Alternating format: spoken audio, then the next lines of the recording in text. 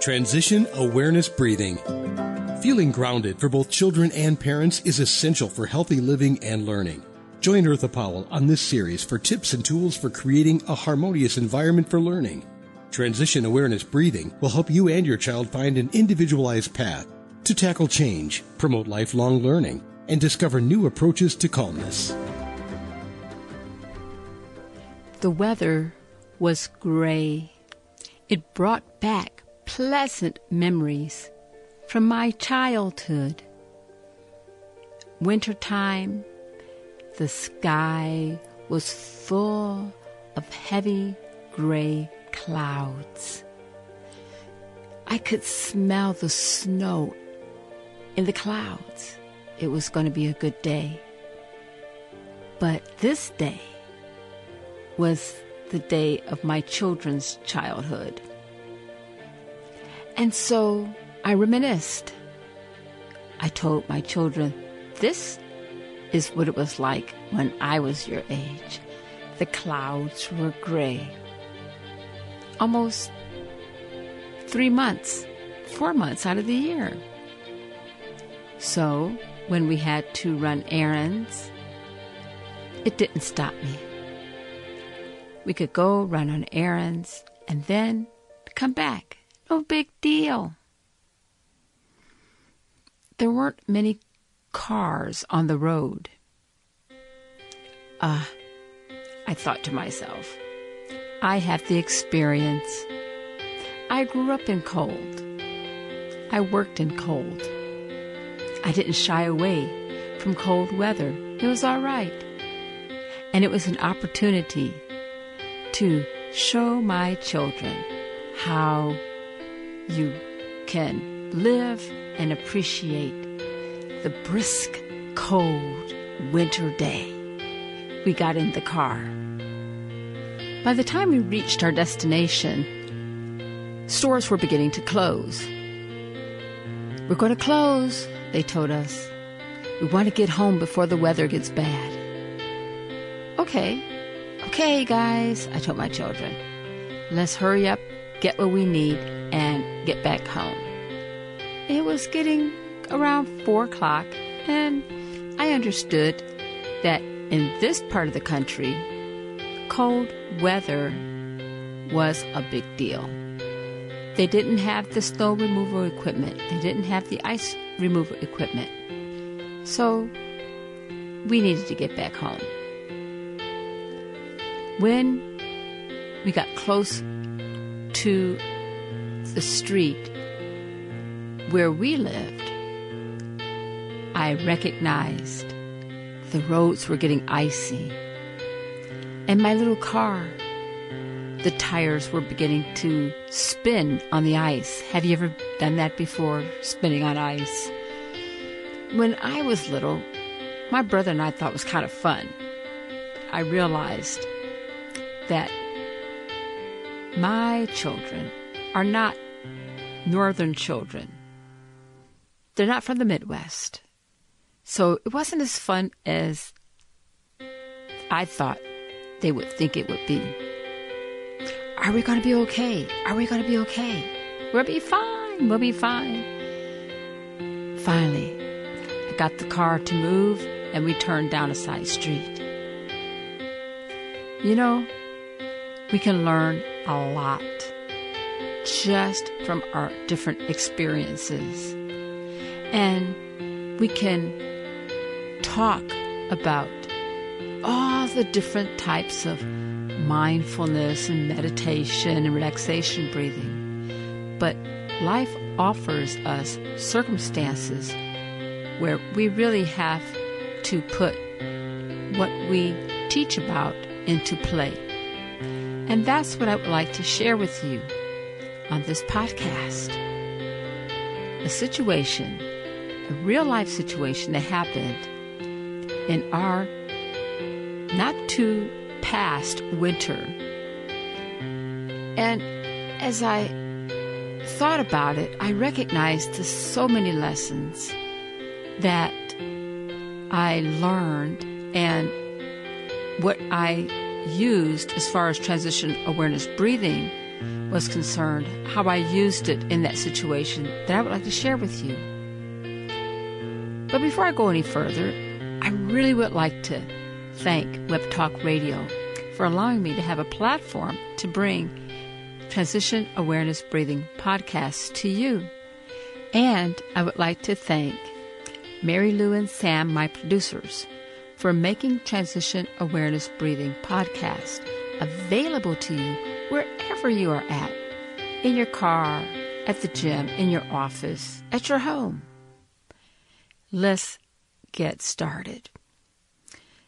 So, on this cold, wintry day,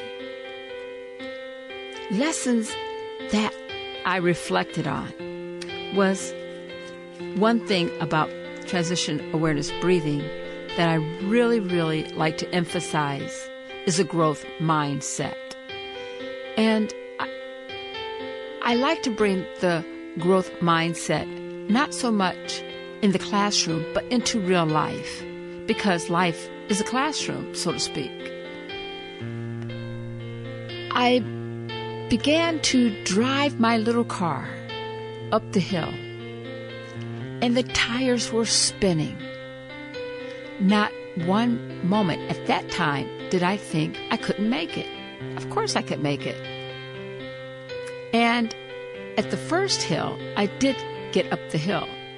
I did kind of a turning this way to the right, turning that way to the left, and the car began to swerve and fishtail up this hill. And I turned left down a path, uh, a uh, side street. Well, when we got through the side street, my daughter um, brought to my attention, but there's another hill. Yes, I thought, the other hill. And I thought, no problem. We'll make it up there. And I thought, really, I did, because I got the experience. Well, that hill was very steep, but never did I think I couldn't make it. My little car. It started to go up, but midway, the tires started to spin. I turned the wheels to the right. The car spun to the right. I turned the wheels to the left. The car spun to the right. And I thought, okay, maybe this might be a little bit more challenging. And I stopped and I thought. And my children were beginning to get stressed. And I said, We'll make it. Don't worry. They were not at all listening to what my words were saying, they were watching my actions.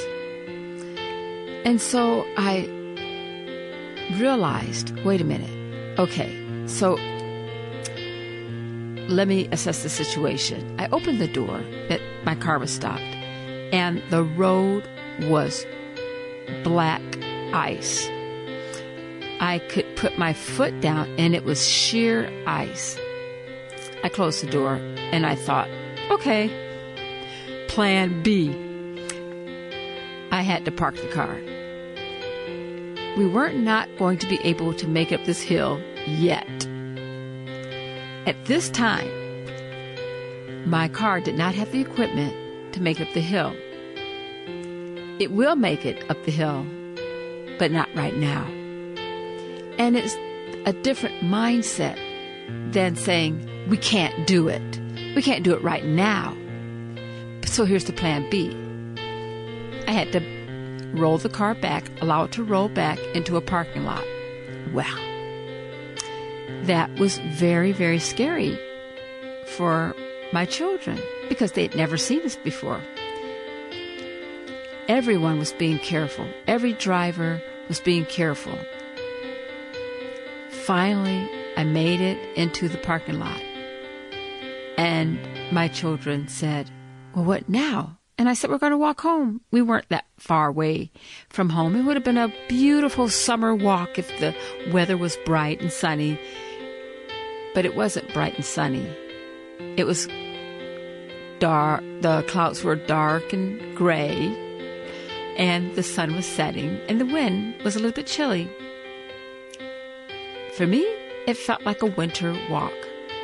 For my children, it was stressful. So I have to recognize my audience. Just because my experience is, I had the experience to walk in this weather, I had to recognize that this was their first time. And as much as I wanted to, I wanted to make it positive for them.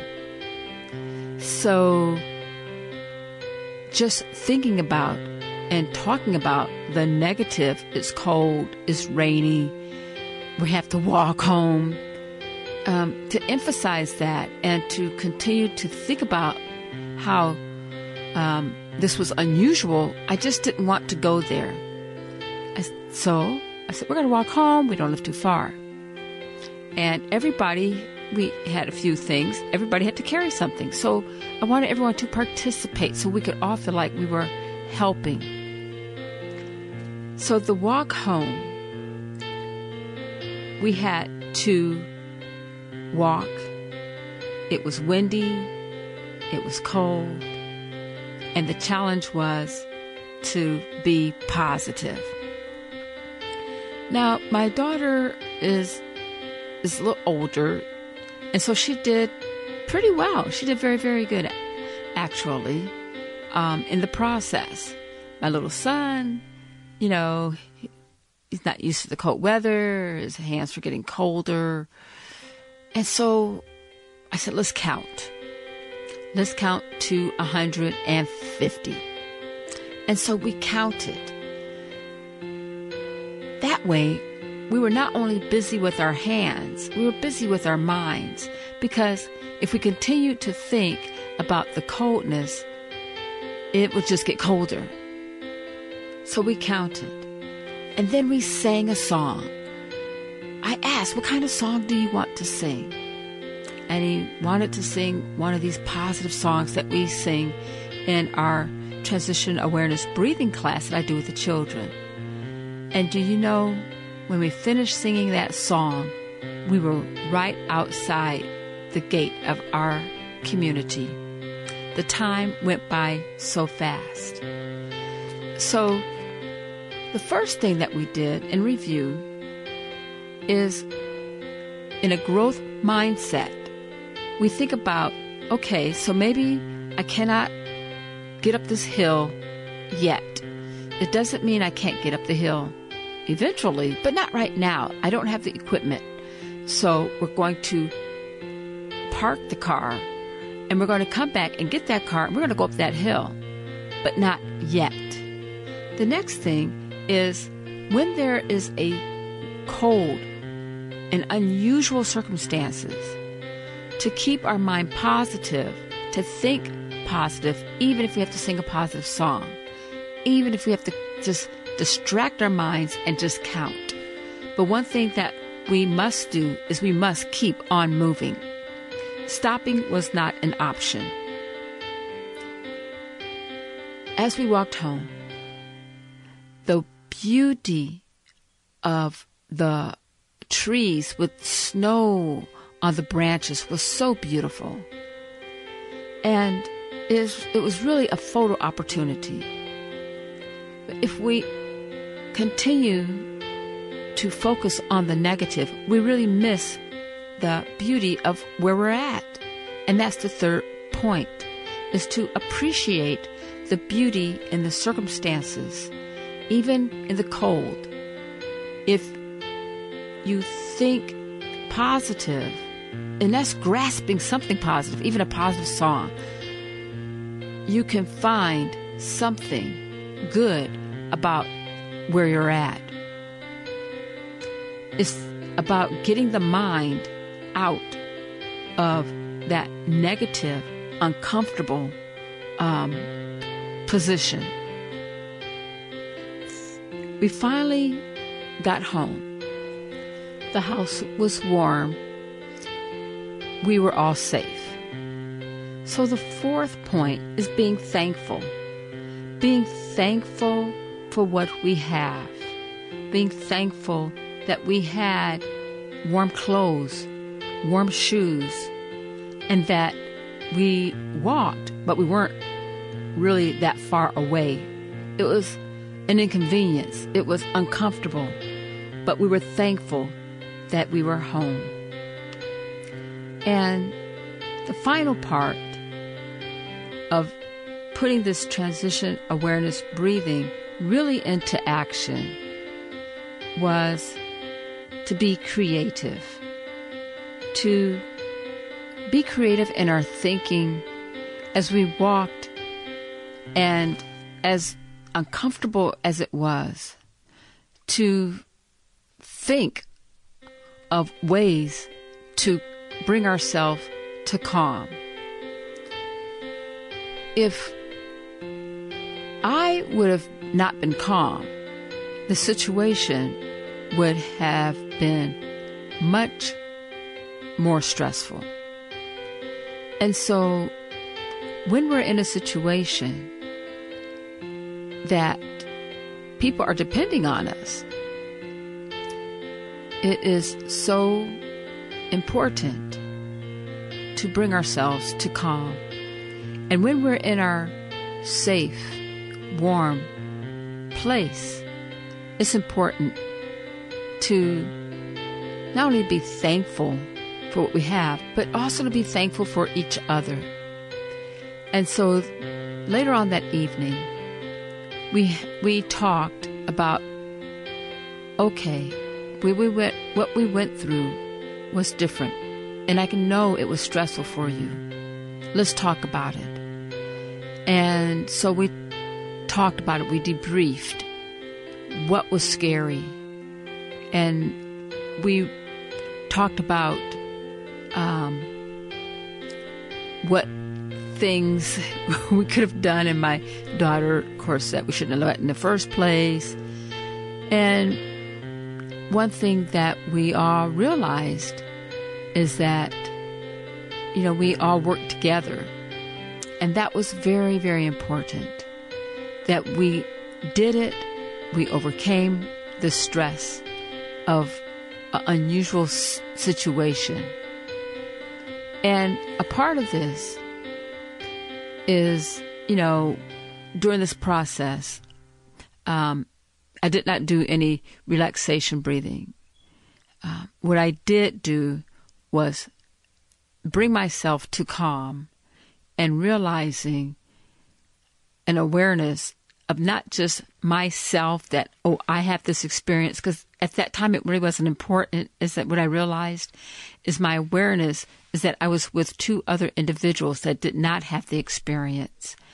And what they really needed from me was my calmness.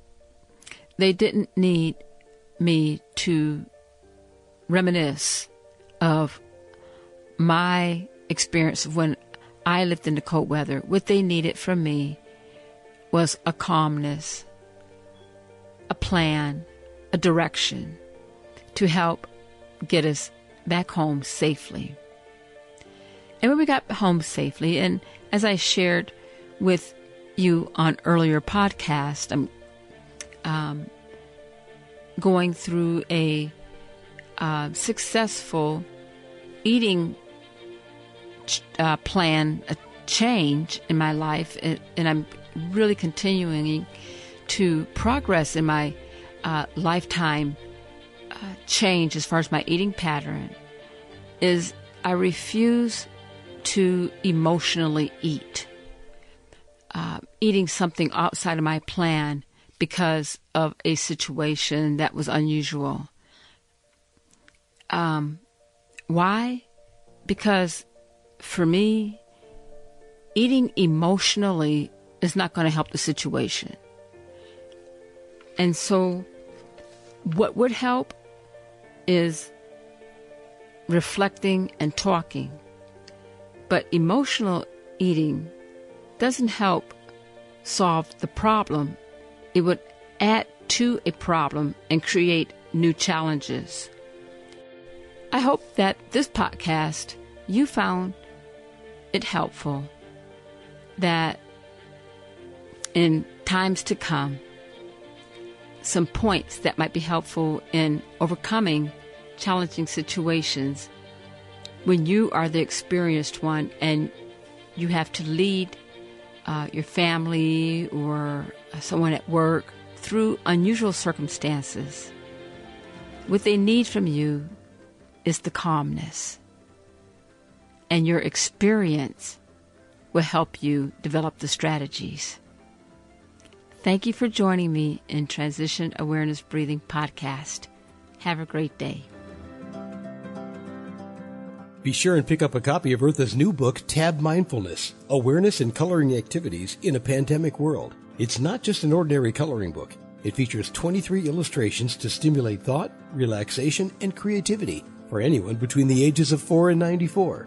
Increase your positive self talk energy, unlock new creative paths, transform your time once or twice a week to create beautiful art while strengthening confidence, building positive self talk, and sensitize self awareness. Tab Mindfulness Awareness and Coloring Activities in a Pandemic World. It's available now at Amazon.com.